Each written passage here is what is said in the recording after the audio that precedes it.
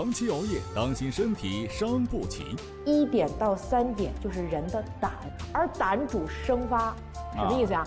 一点以后身体就是一个小幼苗，这个幼苗开始生长的时候，这个人的状态就特别精神，但是这种精神实际上是在以付出身体的燃烧作为代价的一种精神。睡觉时流口水、磨牙，竟是因为吃太多。如果您晚上临睡觉之前再来顿火锅，一个是睡不踏实，对因为肠胃在工作。中医讲胃不和则卧不安啊。比如说不不安以后怎么办？流口水、磨牙。专家现场教您自制果蔬汁，缓解熬夜困扰。眼睛最耗费的是哪种维生素？维生素 A 啊，选择胡萝卜素，含量比较高的蔬果类的。特邀北京同仁堂中医院副主任医师李志和您聊聊熬夜惹的祸。老刘下厨为您送上一道美味的炸鱿鱼圈，精彩马上开始。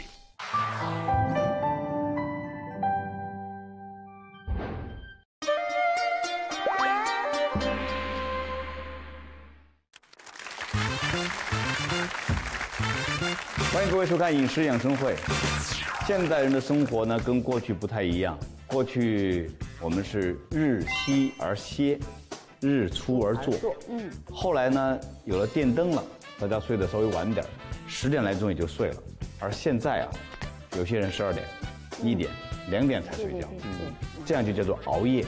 熬夜是一个不甚健康的生活方式。我们给大家讲讲熬夜会带来什么样的后果。有请北京同仁堂中医院副主任医师李志老师，有请。李志，北京同仁堂中医院副主任医师，中华中医药学会国际部顾问，中国老年保健协会专家，中国药膳研究会理事。本期爱问团的嘉宾有湖北卫视主持人胖胖，著名主持人张悦，养生达人李佳念。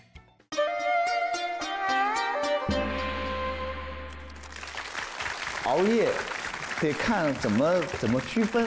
我是每天十二点左右睡，啊，那也不不早啊。这算不算熬夜？算早的。我是每京人来天说，每天我十点钟之后洗洗涮涮，然后我再做一套我自己的那个健身方法，差不多不到十一点，我必须躺在床上，然后倒床上就睡着了。就在您这个年纪来说啊，张老师，您这你也不也算不算，对对对。对啊但是我睡觉质量很高，嗯，时间不长，可是我经常呃睡醒了之后不知道自己在哪儿，我就证明我睡得很好。哦，对梦游了，还这个我们要跟大家来说一下啊，其实真的你说是十点半还是九点还是十一点，因人而异。原则上，一般情况下，我们是主张大家在十一点左右的时候上床睡觉。但是，比如说刘老师，那么他基本上是十二点。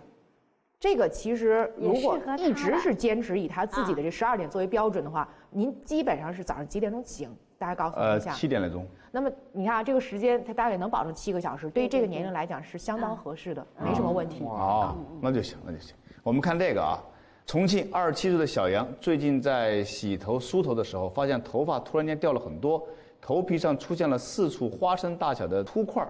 经医生就诊，这是因为他长期熬夜导致机体免疫力下降所致。原来小杨每天必玩手机游戏到凌晨一点，这样的生活保持了好几个月。哎，这算什么呀这算？什么呀？小李啊，终哎于我们讲了一个和你无关的病症，就是脱发。呃 老老师您别说，到我来这儿了原来我的发量原来是我现在的三倍起码。啊我就是照比我前几年，后来也是逐年递减。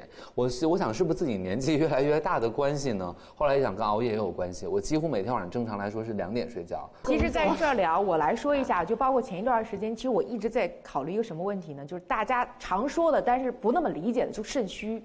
啊，对，首先，中国人对肾虚理解非常狭隘。但我后来研究了半天，比如《黄帝内经》上也在讲，女子七岁肾气实。那么首先就告诉你，呃，这可不是男性的专利啊，这这可不是说只有男人有腰子。第二一点，只不是说只有老人啊，比如说小孩、女孩、这个男孩、老人，他在不同阶段，其实肾跟人体所有的生长、生殖、发育都有关系。所以后来我就想，肾虚怎么来定义它呢？是你所有脏腑比如说，你开始拉肚子是哪儿虚啊？可能是肠胃，也可能是脾胃，但是虚到一定的程度，你天天拉，吃什么都拉，甚至中医有一种病拉到什么程度呢？早晨五点钟准时拉，叫五更泻啊，嗯啊，那是什么虚啊？是脾肾阳虚。我觉得啊，肾虚其实就是一个五脏六腑在崩盘之前的一个最后一道防线，就是你什么样的这这比那还可怕？不说你快崩盘了，这个。你你可以理解为，你可以理解为，就是你所有的一个小事情，你在不注意之后的长年累月的一个量到质的改变的时候，最终都有可能会累积到肾。所以肾虚其实是给大家一个提醒，就是你这事情过度了，也许你熬夜可能一年你不觉得，十年你也许还不觉得，等到真的到了一定年头的时候，你发现所有的崩盘的事情就都来了。那脱发跟熬夜有关是吧？嗯，所以我刚才讲了，这个习惯它已经肯定不是很短的一段时间之内了。首先，他肯定精神很紧张，因为玩的时候大家非常去关注去嗯啊。那么，平常情况之下，睡眠，我估计他早晨可能还得上班吧。对那可能睡眠整体时间量又不足，中间如果再惦记一些事情，睡眠质量又不够好，他玩完电子游戏非常兴奋肯定睡不好。对，这只是我们知道的其中的一小段儿的生活上的不太好的情况，还有其他的可能这些原因都有。比如说，我们认为和外界的环境啊，和接触的问题啊，比如说包括有些人喜欢这个游泳之后里面那个。游泳池的一些的东西，他没有及时的去清洗掉啊，是不是长期的烫发、染发接触一些不良的物质啊，啊嗯啊等等啊，我们说外界的还有身体的都有可能会影响到他这个脱发啊。哦，好，这就是我们中医一贯要讲究的睡眠的最佳排毒时间。晚上九点到晚上十一点呢，就淋巴排毒。嗯，是他在排毒。难道说睡着了才排毒吗？醒着就不排毒吗？嗯，那您在醒着的时候是用脑，您睡着了以后还在用脑做梦是吗？不是，就是说我不睡觉，它不是也排吗醒着？的话，它排不排我说的概念就是，您的身体一定有一部分是在休息，一部分在工作，对然后再反过来的时候，这个另外一部分就开始再去休息。比如说啊，最简单大家好理解就是人的肠胃，您这白一天三顿饭在这儿要等着，而且吃完了您是嘴嘴停下来了，他不停他不停。这整个从您醒来，从喝水到吃饭，一直到晚上睡觉之前这段时间内，其实基本上他没怎么太休息。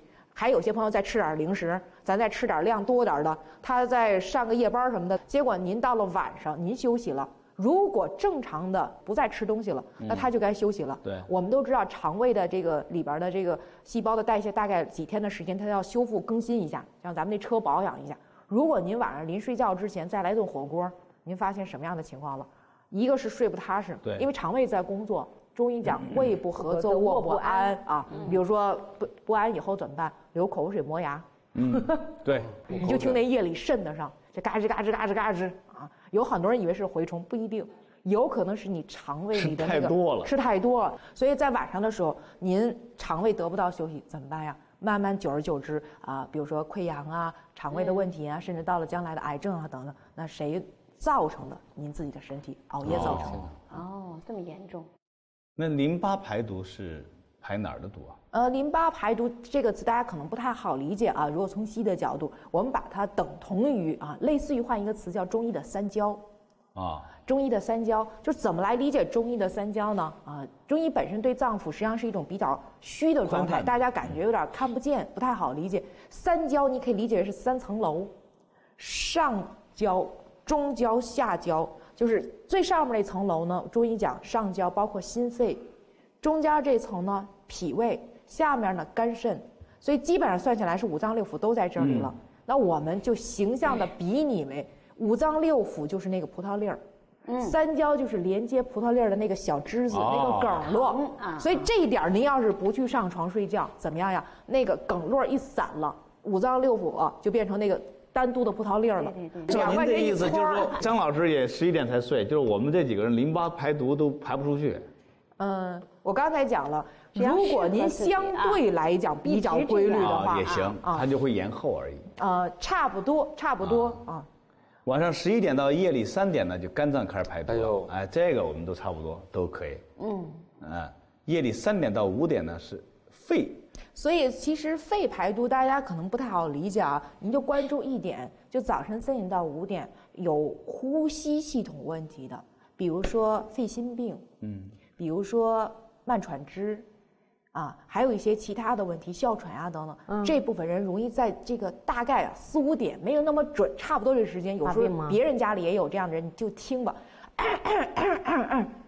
就就干这事儿了。哎，好像是，就是就大概这个时候我们自己有时候咳嗽也是在这个时候，没有说临睡刚睡着会咳嗽的。这个是人最薄弱的时间，也是最容易发生心脑血管的是这个哎，对突发，性心脑血管这个时候好像特别多。对对，早晨五点到七点了就大肠排毒了。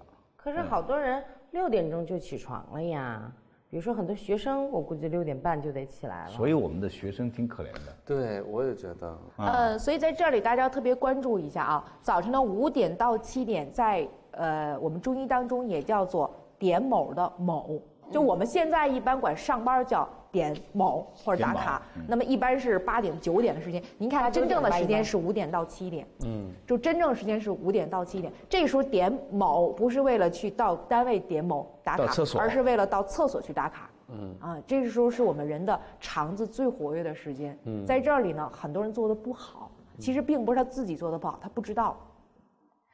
因为我们肠子最主要的一个事情，尤其是大肠，是干什么事儿呢？排便。排便的，如果你任何一件事情去影响了它，都能影响这个行为的本身。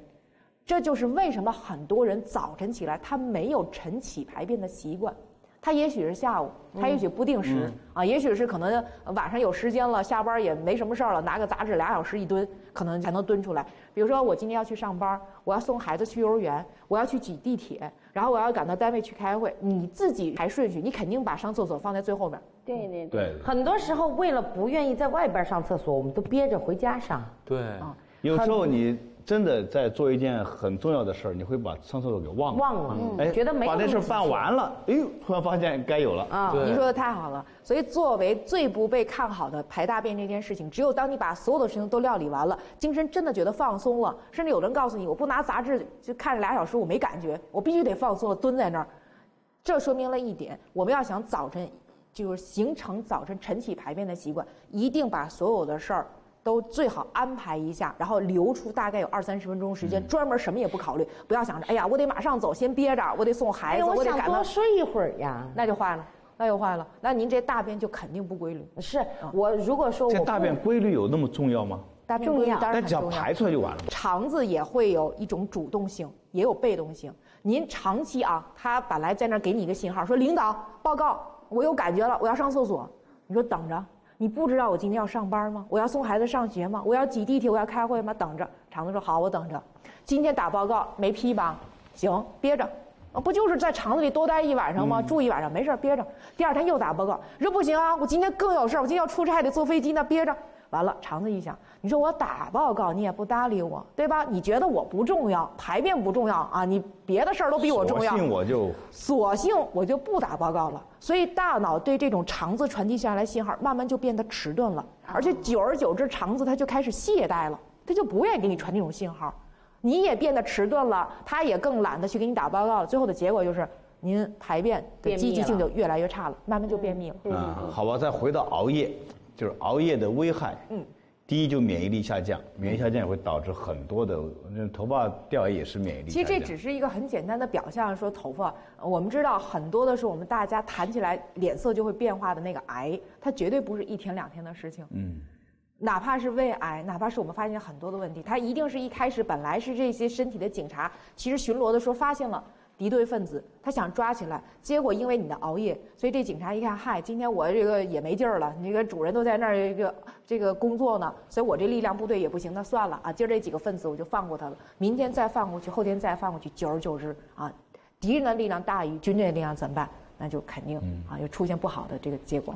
熬夜会导致肥胖啊。熬了夜晚上就饿呗，饿了不就加餐，加餐不就肥胖了吗？我发现不是这个原因，胖胖。我发现什么原因？就是我年轻的时候啊，在我二十二岁之前，我晚上要是熬夜，或者说大学的时候，同学们一块儿去了趟 KTV，回来我反而瘦，因为我代谢好。对对，年轻我代谢好，但是我发现一旦过了二十二岁，我来北京工作之后，我越熬夜啊，我越胖那个湿气更重，身体里边的湿气更重，因此就直接也导致我消化也不好，身体机能也下降，免疫力也下降，吃什么不吸收，都在身体里边沉积，变成毒素，越来越胖，你什么都明白，你还熬夜？就是管不住。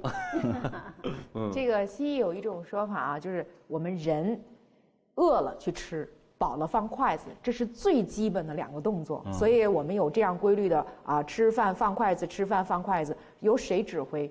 在我们人的脑子里有这么一个司令部，叫做下丘脑。一个是饥饿中枢，一个是饱食中枢，就两个，一个司令部管两个部分，一个是你让你拿筷子，一个让你放下筷子。长期熬夜之后会影响到这司令部，然后你就会感觉吃饭的时候呢，好像也不是特别饿，但是放筷子的时候呢，也没什么明显的感觉。所以就会觉得，哎呀，我好像还能再吃一点啊！哦，我好像就每顿都多吃一点点好像也没特别饱，就会影响对，所以你每顿都顿多吃，当然胖喽。对，所以久而久之就会造成肥胖。我这个是经常很常见的。我是觉得，只要我十二点钟之前睡觉，我会觉得哎，稍稍有一点点饿啊，喝两口水或者吃一个小草莓呀、好，我可以睡了。但是，一旦超过十二点，那十个草莓都不行，非得煮碗小面吃才能睡脑干儿。对，那我告诉你为什么，这个特别好解释。我告诉你，好多熬夜的人有一种感觉，熬过一个点儿就再也不困了。啊，对对你知道这个点儿是什么点儿吗我年轻的时候就我那点儿就是啊三点，嗯，基本上是十二点或一点的时间。为什么到一点是一个坎儿？中医讲一点到三点就是人的胆，而胆主生发，什么意思啊？一点以后身体就是一个小幼苗。这个幼苗开始生长的时候，这个人的状态就特别的，一下子精神就老百姓俗称就跟打了什么东西似的，啊一下子特别精神。但这种精神实际上是在以付出身体的燃烧作为代价的一种精神，所以看似表象是你能熬了，精神头好像又回来了，然后食欲特别好，就这点儿 一定得对一定就是如果这个点我告诉你很形象，我去试过，拿自己试过，就跟蟑螂一样，逮什么吃什么。我听人家跟我说过，说熬夜必须得吃东西，不然熬不了。是吗？对，我听说是熬夜靠靠食物来让自己有精神。能量，对能量能量。对嗯呃，伤害三，皮肤受损。哎呦，这有对对对这我太明明白了。黑眼啊圈儿啊，黄啊，没有光泽，啊长痘痘啊，对各种问题皮肤暗哑呀都，来。皮肤下垂呀，然后毛孔粗大呀，全都是因为熬夜的问题。嗯，这个中医中至少告诉大家一点啊，比如说呃你会发现啊，脸色不好之外，还容易长斑，嗯，还容易长斑，叫做肝气瘀滞，气滞血瘀。嗯，长期熬夜之后气虚了，或者气不走了，停在那儿了，自然血瘀滞，那肯定脸色第一不会好，第二容易出斑啊。记忆力下降，有，有，早上起来都忘了昨天熬过夜了。我最近真的，嗯，哎呀，我睡了的。啊，长期熬夜一定记忆力。对，因为大脑的细胞，说一句实在话，它也得休息啊。我们任何一个其实都是要经常的用啊，经常的保养，这样交替着。长期用什么？那这东西只能就最后四 S 店不用去了，就是报废的地方直接就建了。除非你真的是换一种生活方式，你就过美国时间呃。过美国时间也是必须那也行要有规律。但是我提醒大家，你真的在美国啊，开玩笑，你过美国时间可以，因为那边的太阳和我们的点儿时间是相反的。对对但是你在中国过美国的时间，时间长了还真不行。是是是是，为什么呀熬夜？大家会知道，比如说我们说最简单，大家都知道补钙有一个环境是需要太阳和阳光的照射。太阳那您要是白天您总躲在屋里面，夜里边您怎么晒月亮啊？还有就是你白天的睡眠，咱不说别的，嗯就说睡眠质量肯定不如夜晚。对对。它外面的环境还嘈杂呢。因为人在光的刺激之下，我们分泌的一种叫褪黑素的东西就会少，所以白天你是比较精神。对，关灯睡觉，老祖宗告诉你关灯睡觉，为什么呀？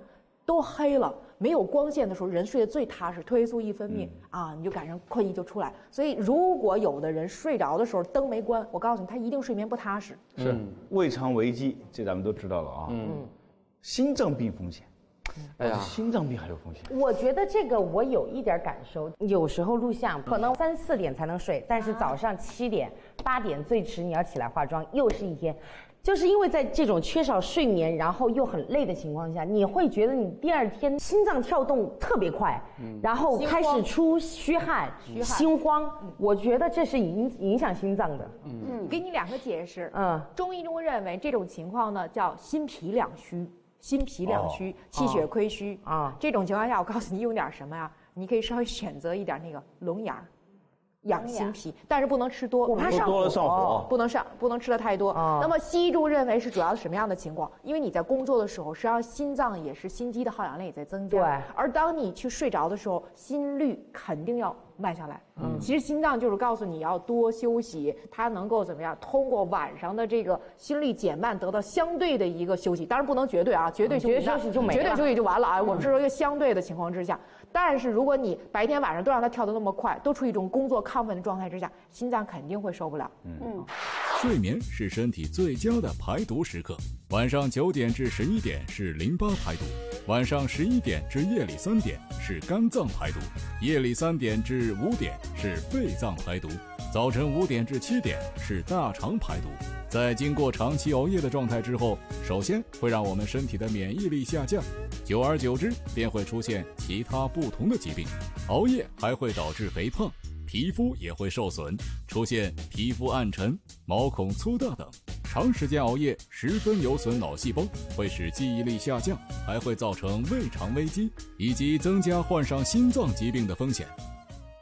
编辑短信 VX 加您希望看到的养生话题和养生专家到幺零六六幺零九八，即有机会获得由咽喉健康领导品牌蔓延舒宁提供的护嗓大礼包一份。嗓子舒服是喝出来的。蔓延舒宁。那如果你真的要熬夜，怎么个缓解一下呢？可以多喝一些果蔬汁儿的果蔬汁，啊大家都知道晚上熬夜一定离不开眼睛，你不能闭着眼睛去熬夜，那叫 睡觉。呃，关于用到眼睛，其实，在咱们的健康节目当中，大家都知道眼睛最耗费的是哪种维生素维生素 B 的流失也很多。维生素 A 啊维生素 A 啊。那您知道维生素 A 主要在什么里面吗？在眼睛里面呢？在肝儿里面。哦，但是我们也得去考虑一个平衡啊。你是补充维生素 A，但是这三高的人群都有其他的这个担忧啊，这个肝脏、内脏这个怎么办呢？选择胡萝卜素啊含量比较高的蔬果类的，比如说橙色的、橙黄色的啊。啊，胡萝卜呀、南瓜呀、芒果啊，哎，熬夜熬夜最好炸什么呀？炸那个西柚或者是柠檬汁儿，啊，又又能够补充那个维生素 A，还倍儿精神。就醒了。还有那个深绿色的绿叶的这种蔬菜啊这都能芹够菜什么的帮助我们来去补啊充啊。所以其实蔬果嘛，要如果大家担心那个蔬果汁当中如果全用水果特别甜，嗯你尽量的放一点稍微清脆一点的黄瓜。黄瓜也行，芹菜芹菜也行啊，就蔬果搭配在一起相对好一点。对啊，然后香参、枸杞、黄芪茶，这可以泡一泡。嗯，因为在这里一定大家注意，尽量选择西洋参。西洋参是比较偏凉性的，对熬完夜的人容易偏燥热，中医对讲阴虚，所以这时候你要是选择上火的参，而且那熬着。熬着一熬着夜，脱了衣服就出去跑去了。所以一般用西洋参、枸杞还有黄芪，黄芪一般叫固表补气，它这个固表啊，就是。它身体有里边儿有外面，相对来讲，黄芪更注于这个表面的问题。就是咱们身体表面最有趣儿的一个地方就是毛孔。嗯，你怎么知道你毛孔不好了？你发现我老出汗，我这毛孔就跟水龙头似的，那开关啊，要能拧紧了就没事儿，老拧不紧就老漏水。对，这时候用黄芪来补气，把毛孔里的水龙头关紧了，这人就不会老这么虚的出汗了。熬了夜之后就特别虚，那个汗如雨下。那是因为还是因为你胖。山药杜仲燕麦茶也可以。山药这个大家很熟悉了啊，杜仲今天我们带来了，我希望大家也注意看一下这个杜仲，您给大家试一下，它最大的特点掰开有丝儿，我知道有杜仲茶，对对对，有丝儿，就跟那个藕掰开就是丝儿。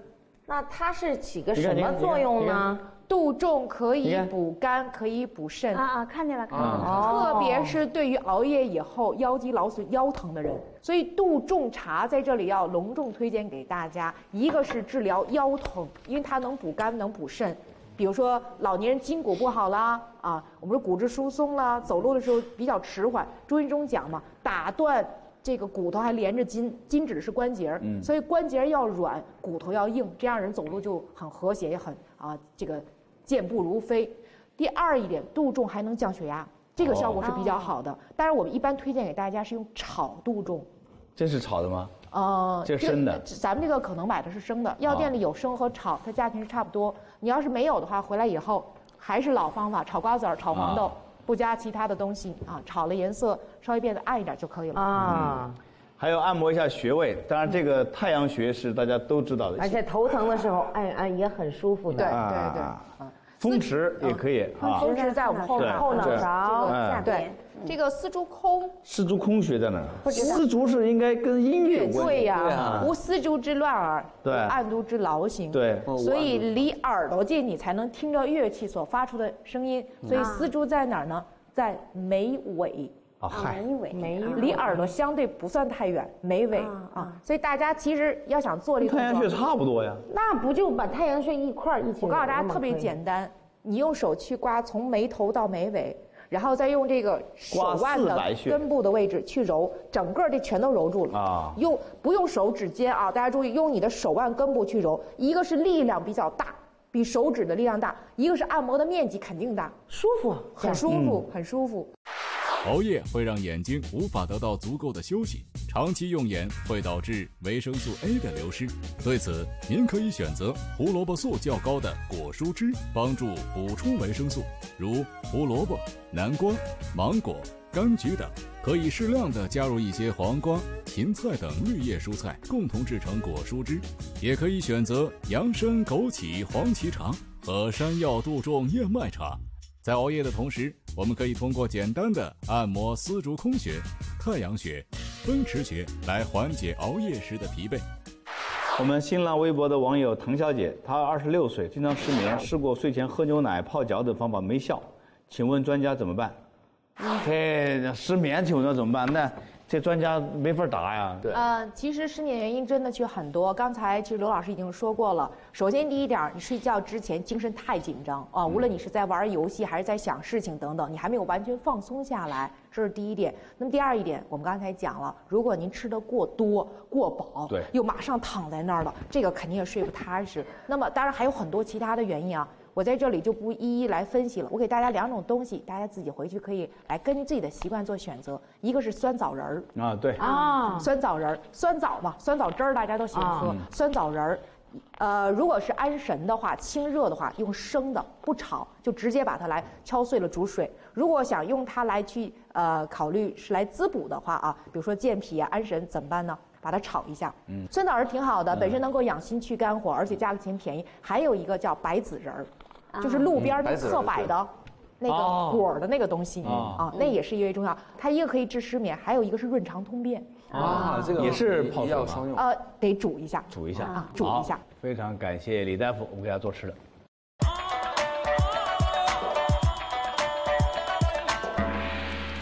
很多人都喜欢吃鱿鱼，啊，味道很特别。哎，但是胃不好的人最好别吃，它不好消化。哦，所以有些人一吃完那个鱿鱼啊，就开始胃疼。胃疼，嗯，而且胆固醇含量也比较高。做鱿鱼最常见的方法呢，就是把它做成鱿鱼花儿，炒哎，然后还有那个叫做休闲食品。啊，对对对，鱿鱼丝，鱿鱼丝。弄干了给哎，我们今天呢，给大家推荐一个鱿鱼卷儿，鱿鱼圈儿。鱿鱼圈儿哎，不叫鱿鱼卷儿，鱿鱼卷儿是切成花刀，嗯用水一烫卷起来。就打成花了。鱿鱼圈儿呢，就直接把它直接切，就它那个哦，就不要给它破开哎，须子不要啊，须子不要。后面身体部分不要给它破开，切出来就是一圈一圈的，把它炸一炸就能吃了。炸一炸。我们和平时做什么猪排啊、鸡排啊、牛排的方法是一样的，有面包糠、干淀粉、鸡蛋，鸡蛋然后有盐、胡椒、料酒，再加上番茄酱，番茄酱就是最后你蘸着吃的。我们现在呢就把它腌制一下，你看，加点盐，同时把鸡蛋给打开。哎，加点胡椒、料酒，然后加入干淀粉。好，可以烧油了。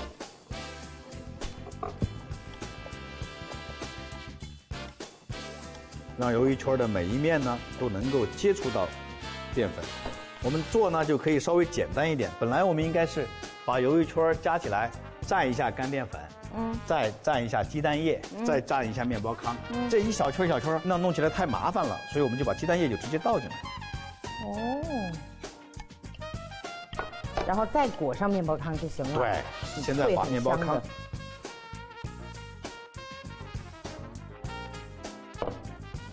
这就很方便了。这可以是一道菜，也可以是一道零食。没错，馋馋的时候，所以也可以做一道下酒菜。嘿嘿，当然了，酒不能多喝啊。夏天喝一瓶啤酒可以了。来，喝酒的时候呢，多吃点鱿鱼圈，少吃点酒。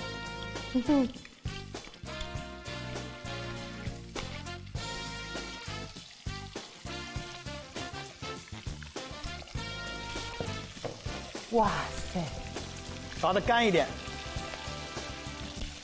也就是说，把每一个鱿鱼圈都炸的焦黄了才出锅。然后吃起来就脆脆的，不会像之前炒的那种对，但它也不会说是脆的，它是它的韧性很足，有点嚼劲儿哎有点嚼劲儿。好了，哇，炸熟喽，捞起来。锅喽，鱿鱼圈儿。炸鱿鱼圈，食材：鱿鱼圈、面包糠、调料：干淀粉、鸡蛋液、盐、胡椒、料酒、番茄酱。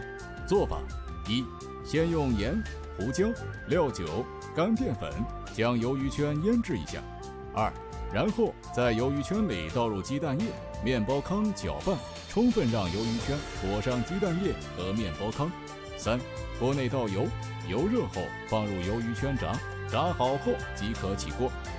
老刘贴士：一、鱿鱼圈可以搭配番茄酱一同食用；二、鱿鱼中富含蛋白质、钙、磷、维生素 B 一等多种人体所需营养成分，而且脂肪含量很低。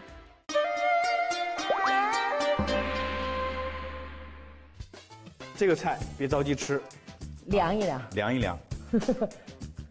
除了烫手以外，其实口感也会更好，凉一凉是不是？对对对，它不是烫手，还烫嘴呢。哦，还烫嘴。好，留一圈儿，你可以在旁边加点番茄酱，哎，你要喜欢也可以放点芝士啊什么的哎。，也可以蘸椒盐，哎，怎么样吃都可以。都可以。感谢您的收看，我们下期节目再见。再见。养生笔记：现在不少的年轻朋友都有熬夜的习惯，长期的熬夜会让我们身体的免疫力下降，久而久之便会出现其他不同的疾病。熬夜还会导致肥胖、皮肤受损，出现皮肤暗沉、毛孔粗大等情况。长时间的熬夜十分有损脑细胞，会使记忆力下降，还会造成胃肠危机，以及增加患心脏疾病的风险。虽然我们无需像古人一样做到日出而作，日落而息，但是在正确的时间内，我们应当保证适当的睡眠，来避免熬夜带来的危害以及疾病的发生。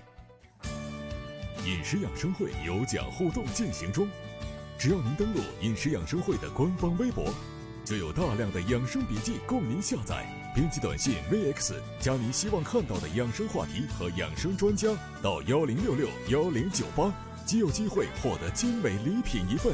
天天有惊喜，赶紧行动吧！